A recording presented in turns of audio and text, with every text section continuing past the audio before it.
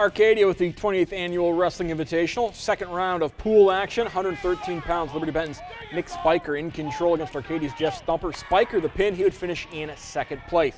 132 pounds now. Cory Rawson's Isaiah Colvin facing Elmwood's Jacob Corral. Colvin gets the pin. He would finish in fifth. 138 pounds. Van Buren's Justin Waller wrestling McComb's Andrew Smith. Waller two points wins easily. Would finish in second. Finally, 145 pounds. Liberty Benton's Javen Hall taking on Cory Rawson's Logan Corpix.